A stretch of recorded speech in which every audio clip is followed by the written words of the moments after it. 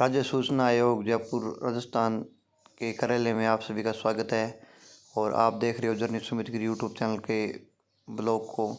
जयपुर यात्रा का विवरण, वहाँ पर एक कार्य के तहत जाने का मौका मिला। तो आप इस वीडियो में वहाँ पर जा कर के आए और उस आरटीआई बोलते हैं जो शॉर्ट में राज्य सूचना आयोग के कार्यालय को इस वीडियो में देखो कि अंत तक बने रहिए और चैनल को सब्सक्राइब अवश्य करिए। जयपुर की खूबसूरत वादियाँ और खूबसूरत सड़कों और बिल्डिंगों का आप इस वीडियो के माध्यम से नज़ारा ले रहे हो और राज्य सूचना आयोग जो आरटीए के रूप में शॉर्ट में प्रसिद्ध है, उसके ऑफ़िस में जा कर के वहाँ सरकारी कार्य संपादित करके आए, उसका विवरण आप इसमें देख रहे हो ये उसकी खूबसूरत बिल्डिंग है। राजस्थान राज्य में जितनी भी ऐतिहासिक बिल्डिंगें हैं धरोहर है वो बनाने का मौका मिला विभाग के द्वारा। देखने योग्य है। और तो ये एक ऑफ़िस की बिल्डिंग होते होते खूबसूरत लोकेशन भी है।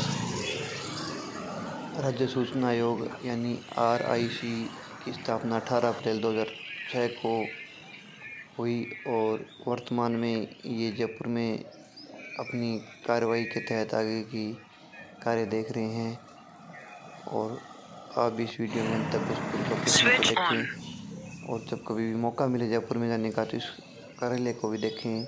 खूबसूरत लोकेशन और ऐतिहासिक धरोहर देखने को मिल रही है।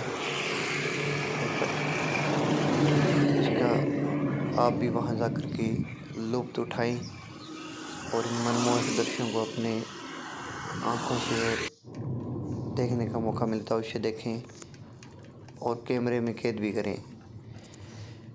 ये जयपुर की जो सड़कें हैं वापस वहाँ पर आए हम सूचना कार्यालय से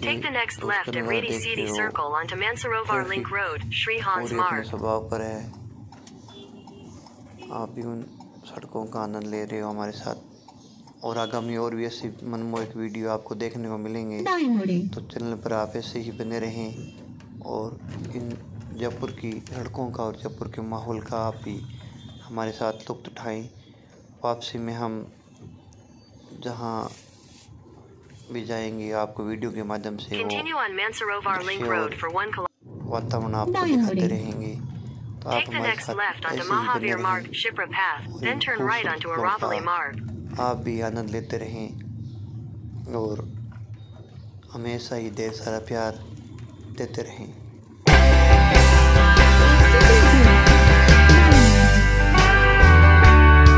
आपने इस वीडियो में राज्य सूचना आयोग के कार्यालय की जो ऐतिहासिक बिल्डिंग है उसको देखा और जयपुर की सड़कों का आनंद लिया।